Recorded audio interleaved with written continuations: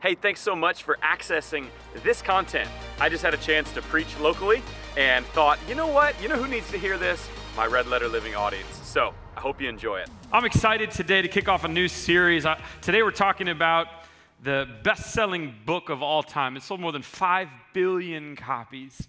It's downloaded on more than half a billion devices, at least on the YouVersion app.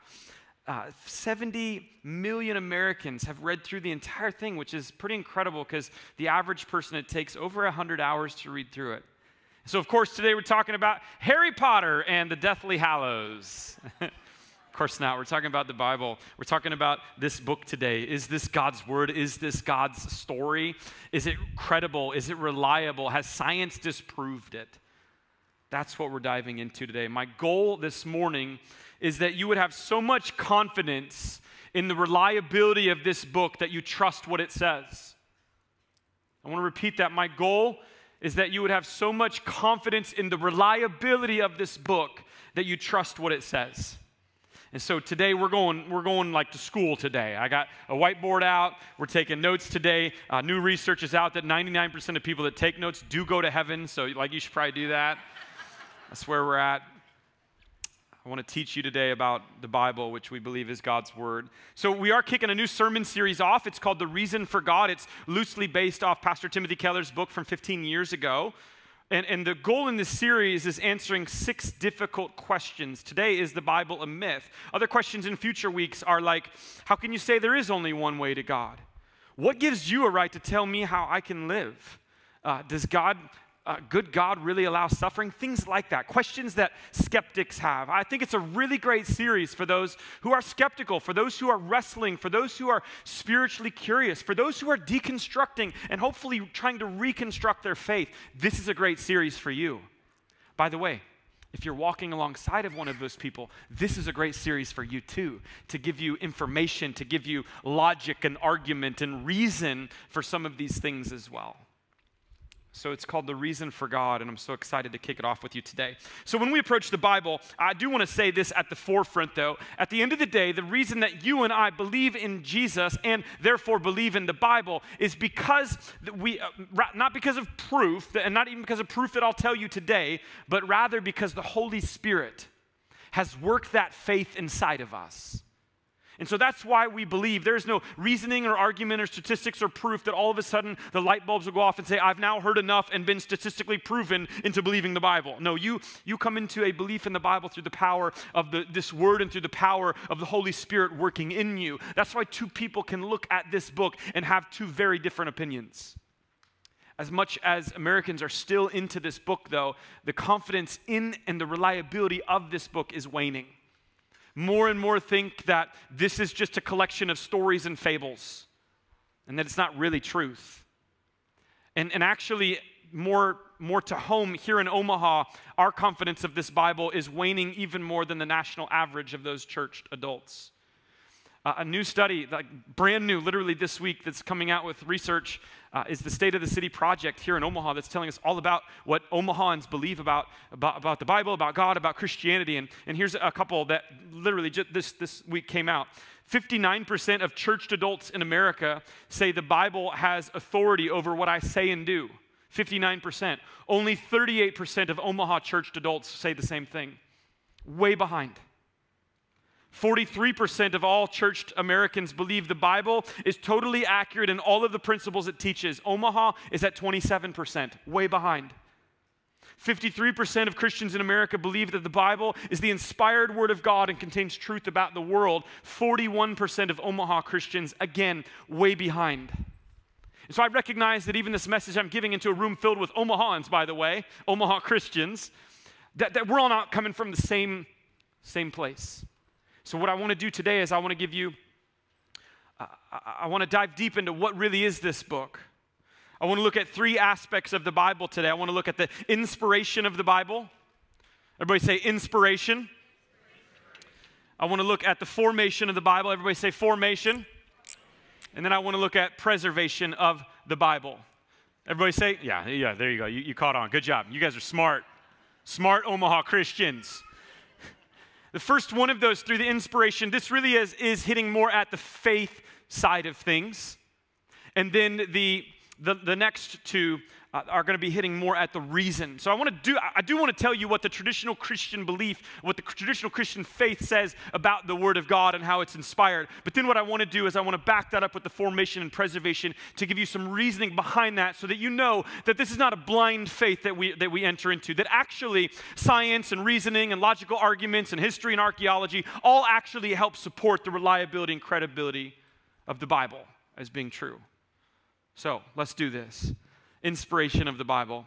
Uh, imagine you're a teenager and you get a text in high school, and some of you are like, uh, already, you've already lost me because I didn't have texting when I was a teenager. Fine. Just imagine you got this message then on a note paper slid underneath your desk that says, "Hey, we haven't spent much time together lately. Date this weekend? Question mark. You and me to catch up." Now, how would that come across if it was A from your mom and dad, or B from someone you had a crush on? I think we can all admit that that little example proves it's important who the words are coming from. It's important to know who the author is because it means something different. And so, the question we have when it comes to the Bible is who wrote the Bible? Is it just a bunch of really great thinkers? Or is this, in fact, God's Word? And if it is God's Word and He wrote through great thinkers, how did that process really go?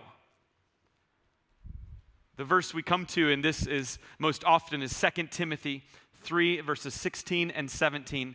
Any word, by the way, that is in red, I want you to go ahead and say those out loud today. This says, All scripture is God breathed and is useful for teaching, correcting, and training in righteousness, so that the man of God, what does it say? The man of God may be thoroughly equipped for every good work.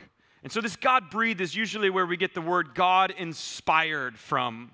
This is what it means, the scripture, is that, that it did come through, it was breathed, it was inspired. It did come from the voice of God, but somehow it came out through these, these writers, these different writers. And so, what does this look like? While it is a matter of faith, I will attest to that, the Bible isn't silent on this process either. In fact, we have different people. Uh, Jeremiah, who says in Jeremiah 30, verse 2, that God said to him, Write all the words that Come on, let's do that again. I want a little more intensity and enthusiasm out of you. We're in, we're, in, we're in class today. Come on. I'm the teacher, you're the students, and I demand that you will do this or you will have detention after where we will look even more into this. Write all the words that to you in a book. Great. And then the next guy, David, he says it this way in 2 Samuel. He says, The Spirit of the Lord spoke by me and is in my tongue. Then we have, then we have Peter who says it this way in one of the books that he wrote. He, he said that prophecy never had its origin in the human will, but prophets, though human, as they were carried along by the Holy Spirit. And then finally, the Apostle Paul, in one of the letters to the Corinthians, says it this way He informs us of the things which he taught were expressed in, quote, which the teaches. So somehow there's this transfer of information from God to human beings to then on the words on the page. And we see that even in the four Gospels Matthew, Mark, Luke, and John. They're, they're the same account of Jesus' life and ministry, but each one of them is writing to a select audience and, and has its own sort of unique personalities and quirks and conversations and nuances that uh, the other Gospels miss out on. And so we get to see the author's personality, the author's style. We get to see as well the, the writings come from a wide variety of, of authors, if you think about it, because God called in some cases kings to write books and in other cases peasants to write books. He calls tax collectors to write books and fishermen to write books and scholars to write books. And so we get this wide variety. But we really don't quite understand exactly how that worked out. And that's okay. And that's, again, I know the series is called The Reason for God, but that's where faith comes in. But here's what I'm saying it matters whose words these are. If they're just words of, of great thinkers, then it would be a great piece of literature. But if they're God's words, then it changes eternities. If it's Peter that says, which he did in, the, in, in, the, in, in one of his letters, cast all your anxiety on me because I care for you, I think we'd all be like, yeah, Peter, I'm not buying that, man. Where were you when, when, when Jesus needed to friend anybody? So, no thanks. But if it's God that says, cast all your anxiety on me because I care for you, that means, whoa, anytime I'm anxious in this world, I can bring that to God, and He wants to take that from me because He cares for me. That's cool. If it's Paul or some unknown author that says, Never will I leave you or forsake you, we might legitimately get a restraining order on that person. but if it's God, how comforting to know that no matter what I'm going through in this world, my God is with me. My God is for me. He hasn't left me, He's right by my side. So, the traditional Christian belief, faith, is that this is the inspired Word of God. Somewhat of mystery, but not totally silent on, on how this, this book in, in, came to be and how these are the words of God. And there are many people that ask pastors today, one of the most often questions we get is, How do I hear the voice of God? And this is what I want to say to you it's right here. You can take this word anywhere, anytime, and open up and hear a God speak to you. And this word says it's active and alive, it's breathing, it's still moving today. Just two nights ago, I was sitting with a pastor from Chicago, and, and he was telling me in his journey as an 18 year old, as he was exploring other religions, he didn't grow up in the faith, that he, he explored the Quran and the writings of Buddha, and nothing happened. But when he opened this and he started reading through the Gospel of John, he realized this really is Jesus. He really is the one true God, the way, the truth, and the life. And so I want to ask, what really is this? Is this the Word of God? And I'm even convicted, like this morning, uh, even in, as I was worshiping, if this really is the Word of God, I treat this thing way too cavalier.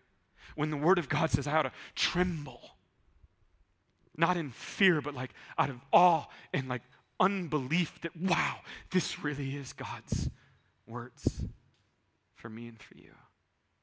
Wow. I hope that's what you believe. Only 41% of Omaha Christians do. If you believe it, by the way, you don't have a blind faith. And that's where I want to get to the reason side of this. Hey, we're going to get you right back to the video. But first, subscribe to this channel. We've got loads of content that's going to help challenge you to be a greater disciple, whether it's other sermons or podcasts, and even some video challenges for you to complete. All of it's happening here on this channel. So let's get right back to it. And so I want to talk now about the formation of the Bible. Um, so, yeah, I need a new whiteboard. Uh, we're going to need a, multiple whiteboards here today. Formation of the Bible. When you think about formation, let's first talk about Old Testament. Old Testament was pretty widely accepted by the time of Jesus. In fact, there were 39 books at that time, much like we have the 39. The only difference was the order of them has changed a little bit, but they were pretty widely accepted by the time of Jesus. And so, in the in the uh, formation of the Bible, in the Old Testament at least, again, those 39 books, what you have is stories from creation until 400 BC in those 39 books. And so we have, like I said, the very beginning um, to, to 400 years before Jesus came. And in this, we have the story of Genesis, we have the, the Ten Commandments and the law, we have historical documents that, that trace God's relationship to all of humankind, and then, and then quite a few books that also trace his unique relationship with Israel, who was supposed to spread the word to the rest of the world. And so, in addition to that, we have books of poetry and of, of songs and wisdom literature, and all of those things included in that. And so, from 400 BC, until Jesus, you have a few books known as the Apocrypha. The Apocrypha are not widely accepted in Christian circles except for the Roman Catholic faith. And this is where the Roman Catholic faith uh, get a couple of their pretty key central doctrines that you don't find in many mainline churches. Doctrines like praying to the saints and purgatory. And so that's where they get those. But the most traditional Christian faiths don't have those. And so that's the Old Testament. When we get to the New Testament, things really start to take shape. To understand how the 27 books of the New Testament come together, you need to understand the definition of this word, canon. And I'm not talking about a military cannon, I'm talking C A N O N. It's a Greek word meaning reed or measuring rod, and its definition is a general law, rule, or principle or criterion on which something is judged. And out of that comes a second definition, which is a collection or list of sacred books accepted as genuine. And so the New Testament canon developed over 250 to 300 years of Christian history, which means this the New Testament was not delivered by an angel. The New Testament was not dug up in a farmer's field like golden plates in the Book of Mormon. The New Testament was not dropped from heaven, and the New Testament was not all of a sudden discovered in a clay jar with 27 books intact like the Dead Sea Scrolls. It developed It evolved, it formed over 250 to 300 years. And I actually think if it had been delivered by an angel or sort of unearthed as one whole document and that's all that we had, I actually think the historical reliability and credibility could be questioned more than what we have, which is a very careful look at how the New Testament has progressed, developed, and come into being. And so that's the journey I want to take you on. How did the 27 books get to be the 27 books? And I, by the way, as a kid, I, always grew up in the Christian faith. I just always accepted this was God's word. But it wasn't until like seminary and I started getting some classes and some other things going on that I was like, oh, I need to really look into this more to see what really is this. So there's three, three criteria for canon. Number one is apostolic authority. And so was the book written by an apostle or an eyewitness or at least somebody in connection to that group of apostles? So that means anything after 100 AD doesn't count. Secondly, widespread usage and acceptance. And that's not just like in one church, that's in every church, in, in, um, in every city, in every country that the Word of God was being taught. And then third, conformity to the faith. This is the theological doctrinal side, is um, it's really hard to spell and write and do all this at the same time. Anyway, um, this was the theological side to say, uh, is the teaching in this book consistent with our Christian faith? So if it had all three, it had a good chance of being in the canon, the New Testament. And so, to, to, get a real picture of how it's developed, you need to look through the church fathers. And thankfully, a lot of really smart people have done this. And so, I'm taking their work and condensing it down even more for us today. But there's droves of works and, and, and things that you can go deeper with this. And I would encourage you to do that. By 175 AD, 175 AD, we, we pretty much know that the four Gospels are considered widely used, accepted Irenaeus was a church father and he wrote this in Against the Heresies. He said, It's not possible that the Gospels can be either more or fewer in number than they are. For since there are zones of the world in which we live and principal winds, while the church is scattered throughout all the world, it is fitting that she should have pillars, from which fact it is evident that the Word, who was manifested to men, has given us the gospel under aspects, but bound together by one Spirit. Already by 175 AD, Matthew, Mark, Luke, and John have taken shape, and that's important to know. You see, at the time I was in seminary, I was learning about uh, another school of thought that was becoming popular like around 150 to 200 AD. And maybe you've heard of it. It's called Gnosticism. It's from the Greek word gnosis, and what that word means is knowledge. And so Gnosticism taught that the problem with humanity is not sin. The problem is that we don't possess the right knowledge. And so, like, there's this secret knowledge that only a few have. And so, this was really important around those times. And when I was in seminary, it was actually getting steam again and, and picking up steam. And it all, all, came, by the way, through the work of a, a fictional author named Dan Brown that wrote a book. How many of you remember this book called The Da Vinci Code? Remember that? Again, I, I quote a fictional book. but in this fictional book, Dan Brown asserts some of his own, of course, beliefs and opinions into it. And, and a lot of people were questioning it. And so, in this book, uh, Dan Brown questions how the Bible came into being and talks about all these secret gospels and how actually the Bible came into being. It was from the Roman Emperor Constantine in 320 AD, that there were more than 80 gospels, and he picked the four that he wanted, and that's how we got the New Testament. But we know that's not quite true because 150 years earlier, 175 AD, they were already consistently using four. But people didn't know this, and so they just started taking him at his word. There was even one professor that stood up in front of his class and held up, the, again, a fictional book, the Da Vinci Code, and said, Now this book has disproven Christianity. Crazy. You know what's even crazier? That professor was at the University of Texas. we just can't trust stuff from Texas. Amen?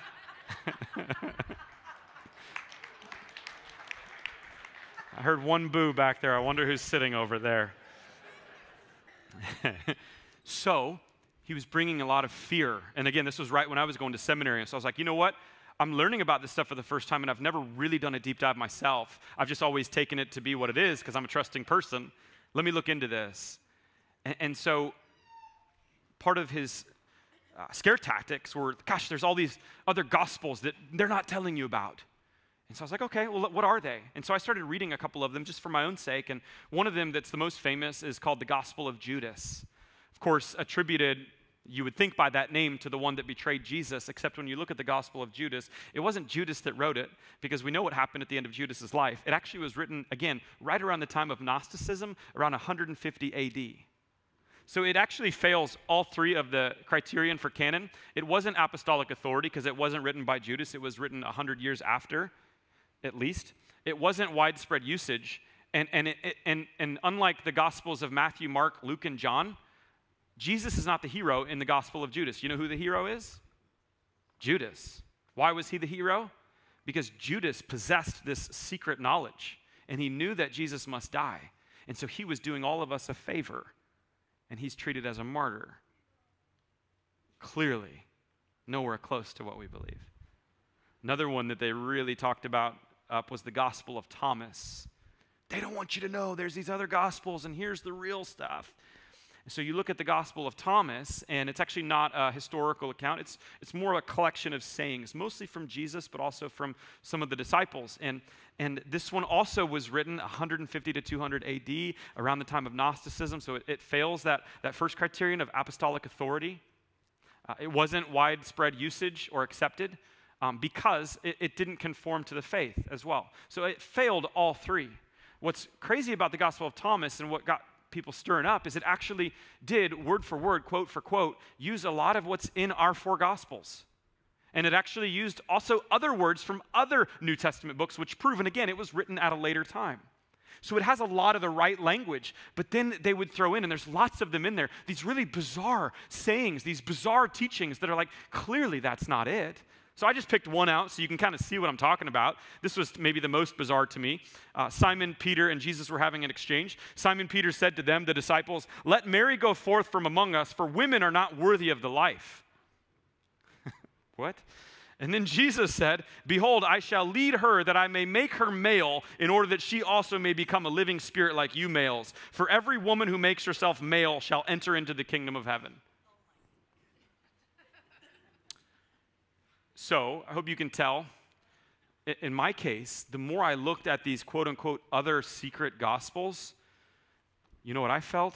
The more confidence in this book that this really is God's word. Wasn't, wasn't Constantine that chose the gospels for the sake of Rome for his own political power. That didn't even happen at a council. They did have councils. Constantine even called one. And you know what they did to those councils? They combated heresy, and that's where they came up with some of the creeds that we recite today. But they didn't pick and choose what worked out best for them. The real answer is this developed over 250 or so years. And these were the books that fit the three criterion for the canon. And that's why we have them. So, how do we know then that we can trust? That was 250, 300 AD. That's great. Zach, it's 2023 now. So, so how do we know that what they said is also what we have? And that's where I want to bring out my third whiteboard. I've never had so many whiteboards in a message, guys. I want to talk now about the preservation of the Bible. Everybody say preservation.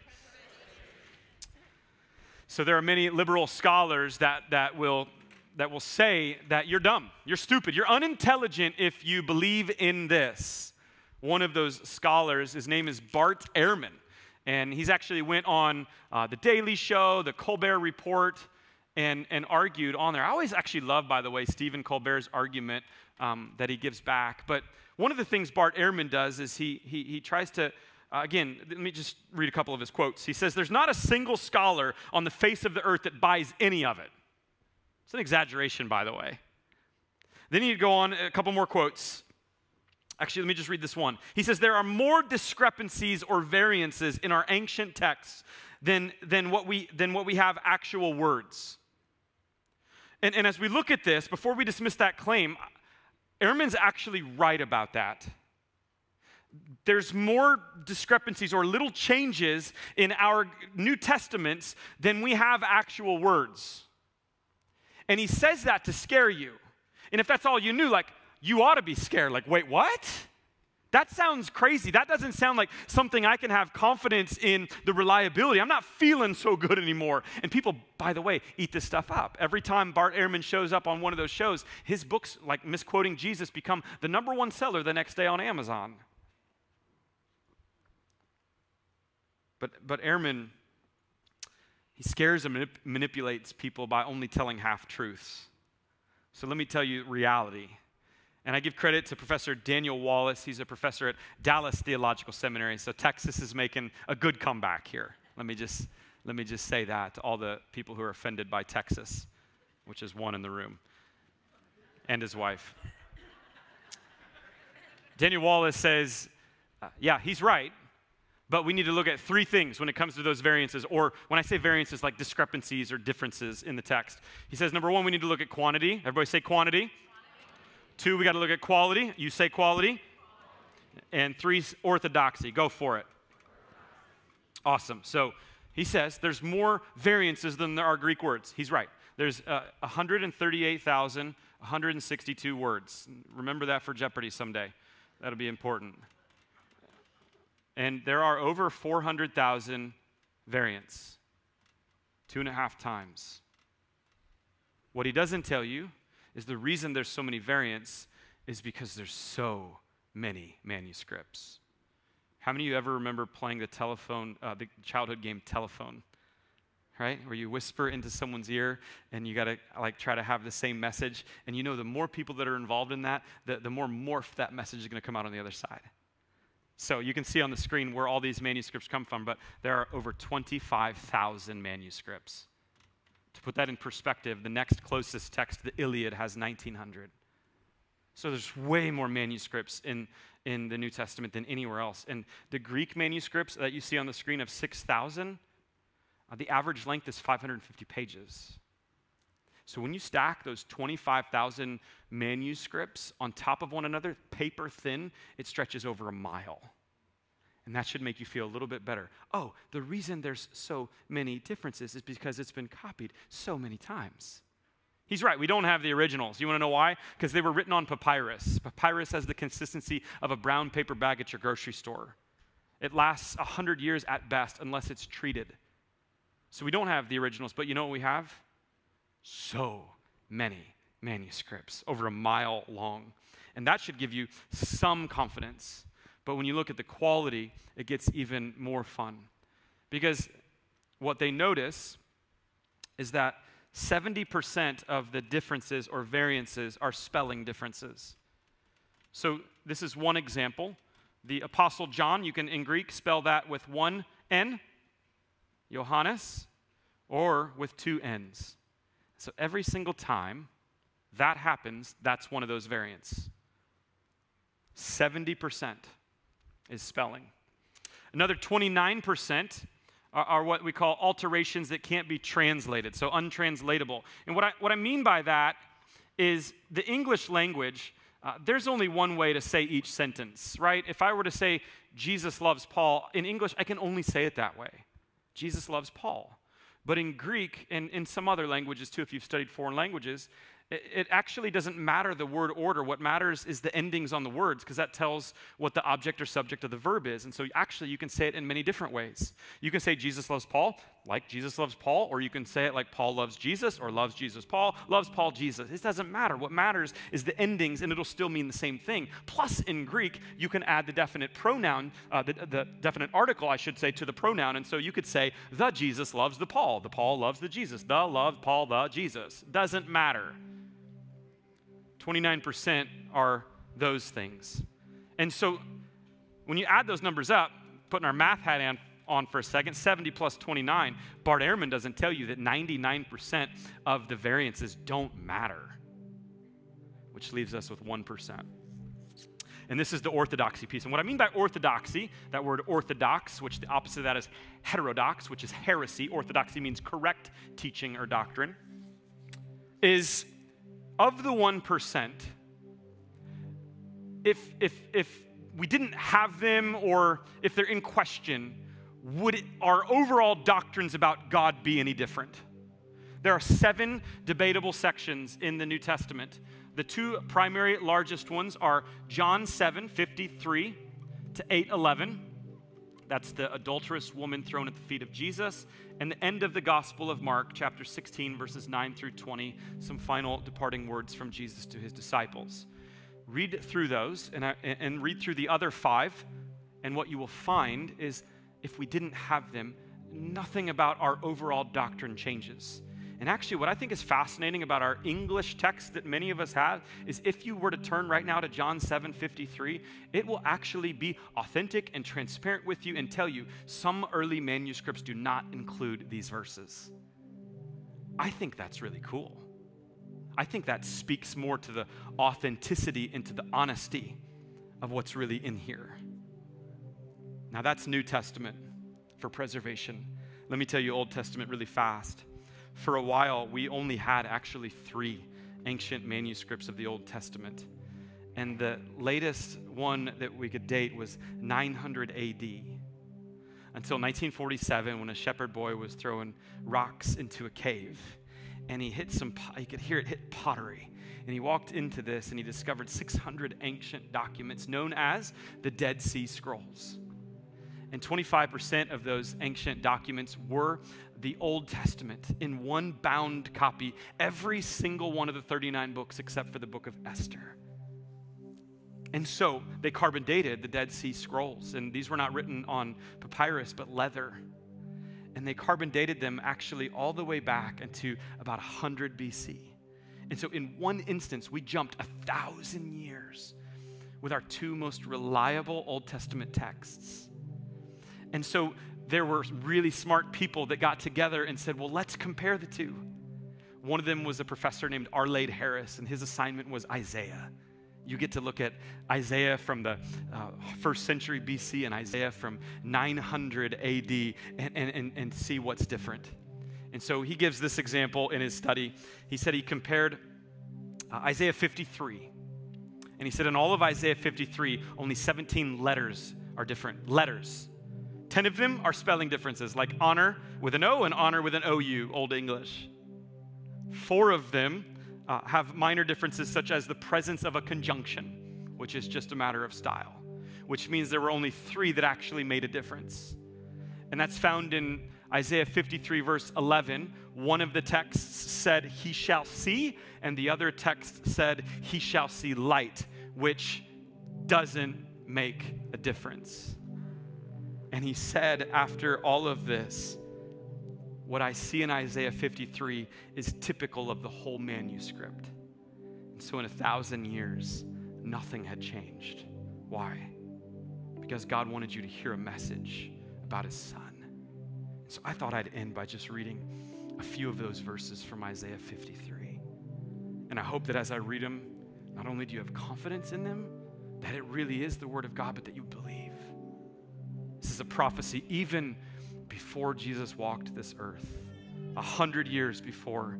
Isaiah 53 said, Who has believed our message, and to whom has the arm of the Lord been revealed? He grew up before him like a tender shoot and like a root out of dry ground. He had no beauty or majesty to attract us to him, nothing in his appearance that we should desire him.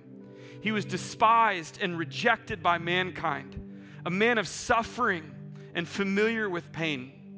Like one from whom people hide their faces, he was despised, and we held him in low esteem. Surely he took up our pain and bore our suffering.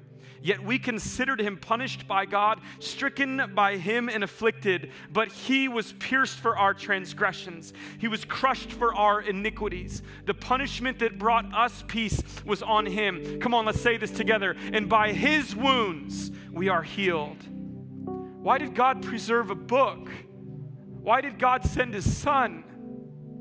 To tell you a message that he loves you and to protect the message that's inside of this that we really have a God that loves us. That we really have a God who sent his one and only Son that came into this world and lived a perfect life so that by his wounds we are healed from all of our wounds from all of our sins, from all of our mistakes. And this God really did die and he really did rise from the dead. And if it really is true, then it means anybody that believes in him and calls upon his name, the Bible says will not perish but have everlasting life. God, preserve that message for a people that so desperately need to hear it because He loves you so much.